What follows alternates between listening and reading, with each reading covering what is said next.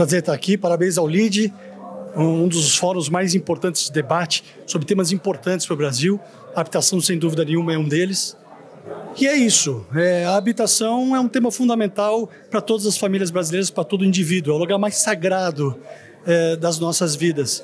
E ele precisa ser debatido com profundidade e num debate amplo em que a sociedade possa contemplar os seus desejos, os seus, os seus suas vontades.